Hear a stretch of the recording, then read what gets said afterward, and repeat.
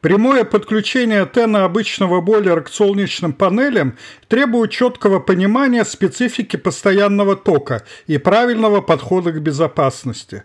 Разберем все по полочкам, от подводных камней и способов защиты до конкретных схем, комплектующих и расчетов. Ролик будет разбит на две части, вторая выйдет на неделю позже, максимум на две. Почему постоянный ток опаснее?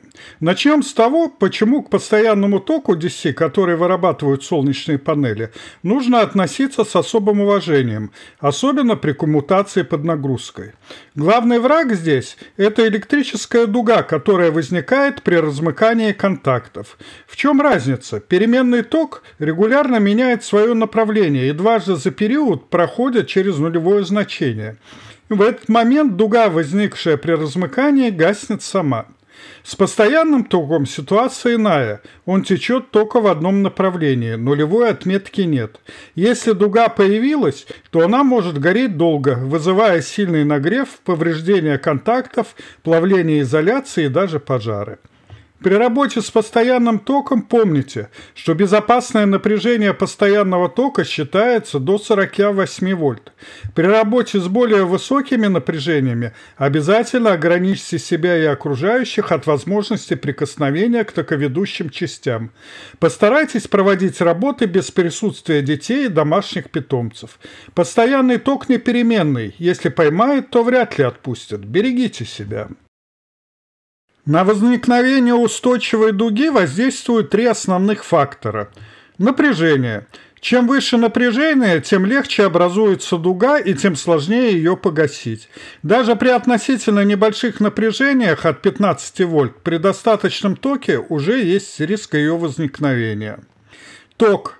Дуга может возникнуть уже при токе 0,1-0,5 ампера. Чем больше ток, тем мощнее и устойчивее будет дуга. Скорость размыкания контактов. Медленное размыкание контактов дает дуге больше времени для формирования. Поэтому, когда мы говорим о прямом подключении штатного ТН к бойлера к солнечным панелям, где напряжение стринга может достигать пары сотен вольт, вопрос безопасности становится критически важным. Чтобы эффективно бороться с рисками постоянного тока, нужна соответствующая аппаратура. Для начала необходим автоматический выключатель или просто выключатель постоянного тока, чтобы в случае необходимости можно было безопасно отключить нагрузку. Обычные бытовые автоматы переменного тока для этого не подходят, так как они не справятся с дугой, порожденной постоянным током. Поэтому для этого используются только автоматические выключатели постоянного тока, DC-автоматы. Их особенность в том, что у них специальная конструкция дугогасительной камеры, часто с усиленными магнитными полями, которые вытягивают дугу и гасят ее. Обязательно проверяйте маркировку. Должно быть четко указано DC, а также на номинальное напряжение постоянного тока, на которое он рассчитан. Например, DC 500 вольт, DC 1000 вольт. Примеры известных производителей серий. АББ, серия S2000PV, Чинт, серия NB1, Yetton, серия PXL FDC. Время токовая характеристика автоматов постоянного тока довольно близка к автоматам переменного тока, но, к сожалению, функцию автоматического отключения при коротком замыкании в цепи нагрузки в ситуации с прямым подключением нагрузки к солнечным панелям он выполнить не сможет. Почему и как срабатывают автоматы переменного тока, я рассказывал в ролике, ссылка на который будет в описании. А вот почему в ситуации с солнечными панелями не сработает автомат постоянного тока, сейчас объясню. Например, мы имеем TEN на 230 вольт мощностью 2 киловатта. Так как номинальный ток у нас при этом будет 8,7 ампера, значит, чтобы использовать возможности нагрева на полную мощность, нам необходимо собрать поле панелей на номинальное напряжение больше 200 вольт и с током больше 9 ампер. Для этого нам подойдет, например, любая панель от Trina Solar, даташит на которые вы видите на экране, мощностью от 290 до 315 Вт. При подключении 7 панелей последовательно мощностью 300 Вт мы получим номинальное напряжение 228 вольт и номинальный ток 9,19 ампера. Если мы поставим автомат на 10 ампер, то при коротком замыкании в нагрузке при соответствующей солнечной инсоляции у нас на панелях и кабелях будет постоянно протекать ток 9,77 ампера. То есть номинальный ток автомата никогда не превысится. Для панели это не представляет опасности. Для кабелей, которые должны быть рассчитаны на соответствующий ток, тоже – в принципе, если в этой цепи существует только панели и тен, соединенные кабелями, то при замыкании в тене проблем не возникнет, просто вода не будет греться. Но, как видно по роликам на ютубе, часть самодельщиков подключают панели напрямую к части домовой сети и запитывают при этом слаботочное устройство. Если в блоке питания, например, от мобильника или рутера, по какой-либо причине возникнет короткое замыкание – то там без проблем может возникнуть электрическая дуга и может там гореть, пока все не выгорит, так как автомат не отключится. Поэтому главное правило при работе с постоянным током – подключать только такую нагрузку и такими кабелями, которые выдерживают максимальный ток панелей. После того, как мы поговорили о защите от возгорания, теперь поговорим, как безопасно включать и выключать наш штен. Здесь у нас есть два основных инструмента – контакторы постоянного тока и твердотельные реле постоянного тока. Контакторы постоянного тока, DC-контакторы, это электромагнитное устройство. Когда на управляющую катушку подается напряжение, она притягивает якорь, замыкая или размыкая силовые контакты. Контакторы для постоянного тока специально разработаны для эффективного гашения дуги. Их преимущество – высокая надежность и способность коммутировать большие токи. Недостатки – механические части со временем изнашиваются, хотя ресурс очень большой, и издают щелчки при срабатывании. Ссылки на все комплектующие с AliExpress будут внизу в описании.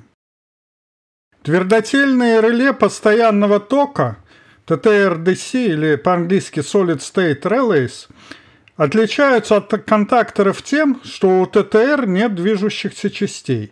Коммутация тока происходит за счет полупроводниковых элементов, например, мощных ИГБТ или MOSFET транзисторов.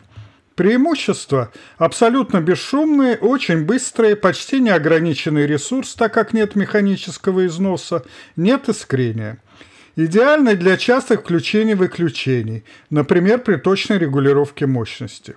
Недостатки чувствительны к перегрузкам по перегреву, обязательно требуют использования радиатора, имеют небольшое падение напряжения на себе и, соответственно, собственный нагрев. На изображении твердотельное реле с AliExpress с возможностью установки на динрейку. Здесь представлено твердотельное реле в традиционном корпусе. При покупке необходимо внимательно изучить характеристики реле и правильно сделать заказ. Обязательно перед заказом проверить вид коммутируемого напряжения. В обозначениях АА, ДА, ДД первая буква означает, какого вида ток управления, переменный или постоянный. Вторая – какого вида коммутируемый ток. Для коммутации напряжения постоянного тока управление происходит напряжением постоянного тока, и данное реле имеет обозначение DD. Для этого реле производитель указывает следующее ограничение. Для резистивной нагрузки ток реле должен быть в два раза больше тока нагрузки, для индуктивной в 6, для имкостной в 10. Также необходимо использовать радиатор для охлаждения реле. А в данном случае указано, что при токе более 60 ампер необходимо использовать и дополнительный вентилятор. Чтобы понять, достаточно установленного радиатора или нет, достаточно измерить температуру радиатора. Она при постоянном режиме работы не должна превышать 80 градусов Цельсия. Эти характеристики касаются конкретно этого экземпляра. Для других реле параметры могут отличаться. Так что изучайте внимательно матчасть перед покупкой. Прямое подключение к терморегулятору обычного бойлера к солнечным панелям чревато основной проблемой – залипание контактов терморегулятора бойлера вследствие возникновения дуги. А термопредохранители ставятся не на все модели, и тогда начнется неконтролируемый нагрев воды и вследствие этого возможное повреждение системы водоснабжения. Подключение панелей к бойлеру через автоматический выключатель постоянного тока является частично безопасным, так как вы сможете вручную отключить панели при коротком замыкании в нагрузке. Но при этом есть существенное ограничение.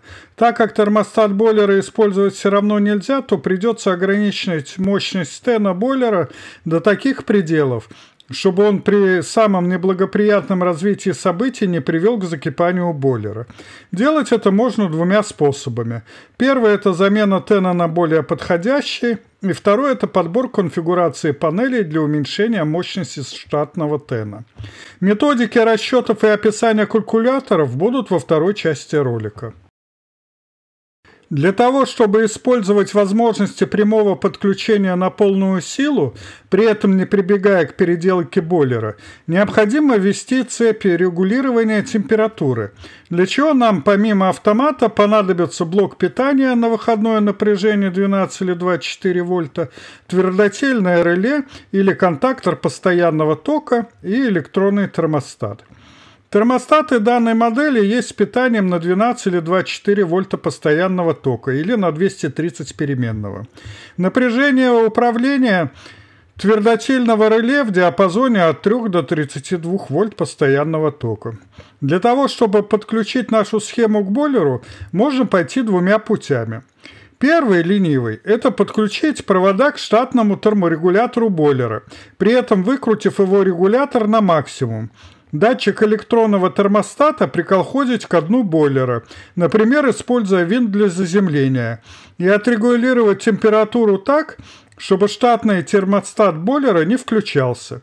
Для того, чтобы определить температуру уставки на электронном термостате, подключите бойлер к сети, нагрейте его до отключения штатного термостата, Посмотрите, какую температуру показывает электронный термостат и установите на нем температуру выключения ниже зафиксированной на 5 градусов или больше. Второй вариант – это снять штатный термостат, провода подключить прямо к лемам Тена, а датчик от электронного термостата поместить в колбу для датчика Тена.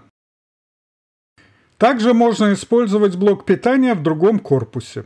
Обратите внимание, что при использовании твердотельного реле надо очень тщательно рассчитывать напряжение поля панелей, так как рабочий диапазон твердотельных реле ограничивается напряжением 220 вольт постоянного тока, и лучше это значение не превышать. Если необходимо использовать напряжение больше 220 вольт или коммутировать большие токи, чем возможно с твердотельным реле, то тогда можно использовать высоковольтный контактор для постоянного тока. Он рассчитан на большие рабочие токи и высокие напряжения, и проблем с коммутацией тена у него не возникнет. Вроде все в этих вариантах хорошо, но при этом есть одно большое «но». При плохой погоде или в утренние и вечерние часы в нелетний период вода в бойлере может оказаться холодной. Чтобы избежать этого недоразумения, есть два пути. Самый простой вариант, но не самый дешевый, да и еще требующий дополнительного места, это использование двух бойлеров. К первому подключаются панели по любой схеме, описанной выше, второй бойлер подключается к сети. Температуру включения второго бойлера установить ниже, чем у первого на 5-10 градусов. Например, в первом установить 60, во втором 50. При отсутствии нагрева от солнца вода во втором бойлере будет подогреваться от сети. Второй вариант – это врезка второго тена в ваш бойлер. С сетью 230 вольт переменки работает штатный тен. С панелями через блок автоматики дополнительный тен. Настройка производится аналогично предыдущему варианту. Тен от сети будет включаться только тогда, когда солнечный тен не будет справляться с нагревом. На этом сегодня все. Методики расчетов и калькуляторы будут в следующем ролике. Подпишитесь, если не подписаны, чтобы не пропустить.